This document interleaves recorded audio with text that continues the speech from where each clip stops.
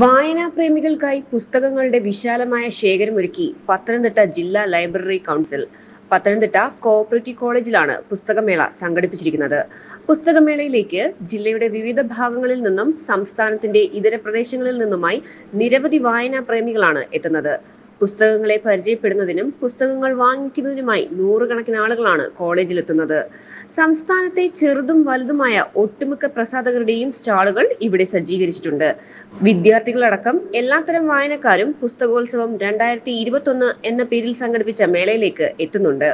Covid കാലത്തെ നീണ്ട ഇടവേളയ്ക്ക് ശേഷം ഇഷ്ടപ്പെട്ട പുസ്തകങ്ങൾ വാങ്ങുന്നതിനും പുതിയ എഴുത്തുകാരുടേതടക്കം പ്രസിദ്ധീകരിക്കപ്പെട്ട പുസ്തകങ്ങൾ പരിചയപ്പെടുന്നതിനും വായനക്കാർക്ക് സൗകര്യമൊരുക്കുന്നതിന് കൂടി ലക്ഷ്യമിട്ടാണ് മേള സംഘടിപ്പിച്ചതെന്ന് ജില്ലാ ലൈബ്രറി കൗൺസിൽ ഭാരവാഹികൾ പറഞ്ഞു.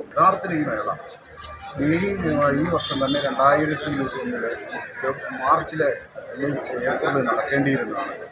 നീണ്ടുപോയി. അതിന്റെ കാരണം അറിയാമല്ലോ നമ്മളുടെ ഈ കോവിഡിന്റെ മനുഷ്യനെ ഏറ്റവും കൂടുതൽ ബാധിച്ച് ദൈനംദിന ജീവിതത്തെ ഏറ്റവും കൂടുതൽ സ്പർശിച്ച ഒരു വിഷയമാണ് രണ്ട് എൺപതിൽ പരം സ്റ്റാളുകൾ ഈ മേളയിൽ പങ്കെടുക്കുന്നുണ്ട് വരുന്ന രണ്ട് ദിവസം കൂടെ ഇന്നും നാളെയും മറ്റന്നാളും ഉൾപ്പെടെ അതായത് തിങ്കളാഴ്ച വരെയുള്ള ദിവസമാണ് മുന്നൂറിൽ പരം ഗ്രന്ഥശാലകൾ അതാണ് ഗ്രാൻഡ് വാങ്ങിക്കുന്ന ഗ്രന്ഥശാലകൾ. അവരുടെ ഗ്രാൻഡ് ഉപയോഗിച്ച് വാങ്ങിക്കുന്ന ഗ്രാൻഡിന്റെ എഴുപത്തഞ്ച് ശതമാനം തുക തുകയ്ക്ക് വാങ്ങിക്കുന്ന പുസ്തകങ്ങൾ ഈ മേളയിൽ നിന്നാണ് അതിന്റെ ഭാഗമെന്ന് പറഞ്ഞാൽ സംസ്ഥാന ലൈബ്രറി കൗൺസിൽ വർഷങ്ങളായി നടത്തിക്കൊണ്ടിരിക്കുന്ന വായനാ മത്സരങ്ങൾക്കുള്ള പുസ്തകങ്ങൾ പ്രത്യേകമായി ഇവിടുന്ന് ആ, ഗ്രന്ഥശാലയ്ക്ക് മാറ്റുന്നതാണ് യു പി വനിതാ ഹൈസ്കൂൾ യുവ കൗമാര ഇത്തരം വായന മത്സരങ്ങളുണ്ട്. അങ്ങനെ വായനയുള്ള വായന. മത്സരം. അതായത് ഹൈസ്കൂൾ എല്ലാ പുസ്തകങ്ങളും എല്ലാ വായനക്കാർക്കും ലഭ്യമാക്കുക എന്ന ബാധ്യത കൂടിയാണ് ഈ മേളയിലൂടെ ലൈബ്രറി കൗൺസിൽ നിറവേറ്റുന്നതെന്നും പുസ്തകങ്ങൾക്ക് ഡിസ്കൗണ്ടും ഇവിടെ ലഭിക്കുമെന്നും ഭാരവാഹികൾ പറഞ്ഞു.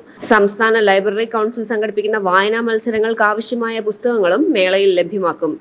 ജില്ലാ ഗ്രന്ഥശാല പ്രസ്ഥാനം പത്തനംതിട്ട കോഓപ്പറേറ്റീവ് കോളേജിൽ സംഘടിപ്പിച്ചിരിക്കുന്ന പുസ്തകോത്സവം രണ്ടായിരത്തി ഇരുപത്തി സംസ്ഥാനത്തെ ചെറുതും വലുതുമായ അമ്പത്തിമൂന്നോളം പ്രസാധകരാണ് എത്തിച്ചേർന്നിട്ടുള്ളത്. മൂന്ന് ദിവസം നീളുന്ന പുസ്തകമേള ഈ മാസം പതിമൂന്നിന് സമാപിക്കും. News desk news day Malayalam.